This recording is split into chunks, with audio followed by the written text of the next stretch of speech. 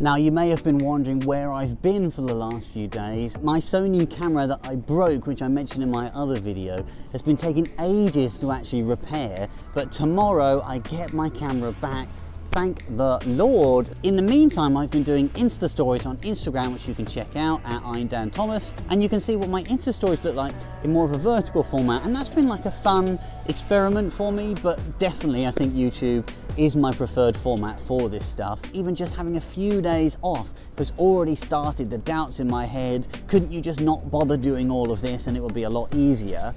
And that's really triggered this vlog because I want to talk all about how you continue to stay motivated. How do you take a passion and keep working at it and doing it in the long term because that's the only way you're going to make these things work.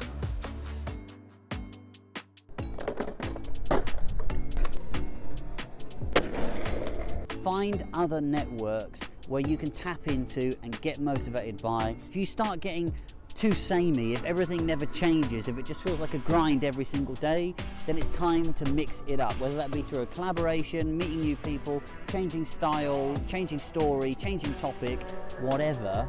Stay diversified in your networks. It's going to help you stay motivated. I so often get people coming up to me and saying, oh Dan, how do I go viral? And I'm like, go viral? No one even knows you exist yet. How could you possibly go viral?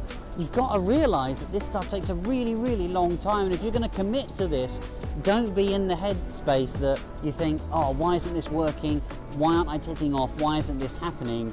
and have all of your motivation based on your success. All the good musicians always tell stories about how they would grind it out and go to gig after gig after gig just to get noticed, just to be recognized. And you're going to have to do the same thing. Really, really believe that this process is going to work for you if you just keep going for longer and longer. Gary Vee talks about his $1.80 process. He spent four years doing six to eight hours of commenting every single day. He was the only one that wasn't willing to give up. He trusted in the process. He grinded and grinded and grinded. He talks about how people would give up after a week, a month, three months, a year, and he never did, and that's why he's made it. You really have to be in it for the long run. Now, does this mean that you'll never have a day when you're not really demotivated and don't want to do it? No. Does it mean that you're not going to feel like quitting all the time?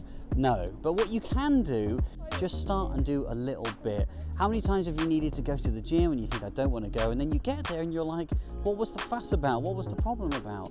Even if you only come out with it with just a little bit, that's still a massive, massive achievement. And what you'll probably find is when you start doing a little bit, it will turn into something really, really good.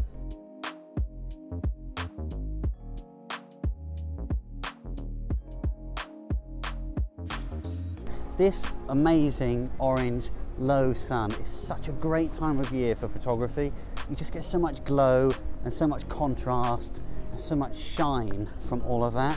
The golden hour has returned again you should always talk to yourself like a friend would talk to you. And I think that's really good advice because to stay motivated in the long term, you have to really be friendly with yourself. You can't be beating yourself up about what you should have done or the quality you wanted to get. Appreciate that you're a person with limited time and limited resources doing their best throughout this thing and become happier with whatever you can create in the medium that you can create it in the time that you can create. If you can really come to terms with that and be proud of what you are doing and knowing that by persevering that is such a difficult thing that you should be proud of, that's going to help you stay motivated in the long run. So talk to yourself like a friend, really, really important. Oh, one more thing. I actually recorded this as a clip and the sound didn't work, which you'll see in the subscribe note right at the end of this. Connect with your why. Find that reason why you are creating and doing the things that you do and really dig into what that means for you. It's not just enough to say, well, I want to give loads of value to other people because if your why is purely based on other people's recognition of that, then you're going to struggle, especially in the early days when nothing happens because you've got no followers and you're going to get no comments and you're not going to get any activity. Is it educating you? Is it pointing you in the right direction? Is there a story that you really want to share? Do you want to get your name out there? Do you want to build your brand? What is your why? And keep that in your mind when you're creating and reconnecting with that why as much as possible. That's going to help keep you in the right headspace. It's also going to mean that you create for the right reasons. You know, you're not just creating to try and get likes and comments, you're still creating with the reason why you started it and the reason why you're passionate about that thing. All right, proper goodbye now. See you all again soon.